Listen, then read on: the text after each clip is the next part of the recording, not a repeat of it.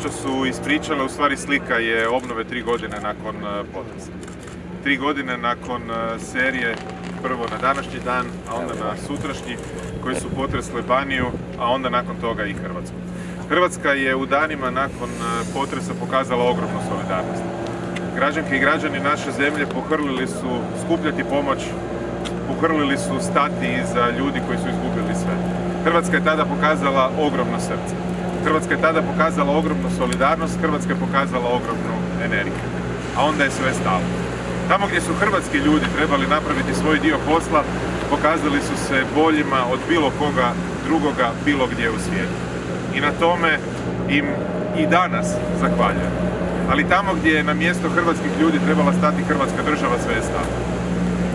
Plakati za tri izgubljene godine u neku ruku nema smisla. Ali ipak tako treba jasno reći. Tri godine su nepovratno izgubljene. Ja doista ne želim da se obistini proročanstvo koje je upravo sada rekla kolegica Branka Bakšić-Mitić da ćemo čekati da se neke stvari naprave još pet godina. To je potpuno neprihvatljivo. Ljudi koji ovdje žive to nisu zaslužili. Naprosto nisu zaslužili. Zbog stradanja koje su doživjeli u domovinskom ratu, zbog zanemarivanja koje je Hrvatska nakon toga prema njima pokazala, zbog pljačke u pretvorbi i privatizaciji, zbog onoga što se dogodilo za vrijeme potresa, ljudi nisu zaslužili da ih država još jednom zanemari. Zbog toga treba jasno reći, obnova mora biti fokus rada državne vlasti. Ona ne može biti na ruku. Ona ne može tu biti prigodna, ona ne može tu biti s vremena na vrijeme kada se neko treba slikati sa ključevima ili psom kako bi se pohvalio u izborno vrijeme pred hrvatskim građanima. Obnova se mora događati 24 sata, 7 dana u tjednu, 365 dana u godini. Nema subota, nedjelja, praznika.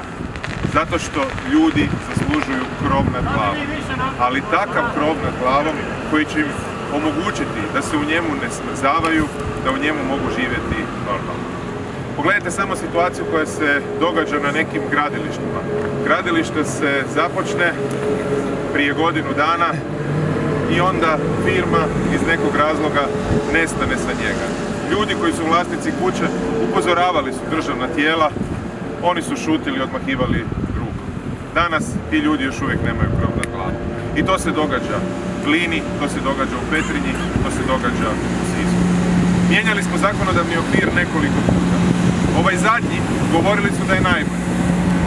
Međutim, koliko se doista nakon toga ubrzalo? Nedovoljno. A zašto? Ponovit ću još jednom.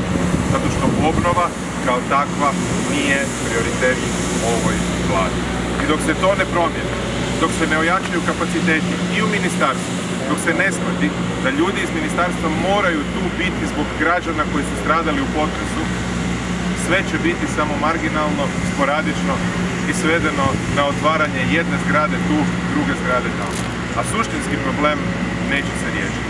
I još jedna stvar. Gdje je nestala revitalizacija? Gdje je nestala revitalizacija i priča o revitalizaciji? Već mjesec dana nakon potresa upravo mi iz SDP-a otvorili smo priču revitalizacije. Krenulo se sa izradom nekakvog programa, on je završio u Ladicama, tri godine nakon potresa, nadaju se, nadaju se da smo na to zaboravili.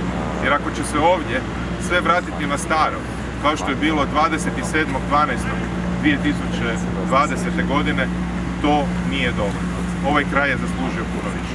Hvala, naravno ako imate pitanja, tu smo na njih odgovoriti.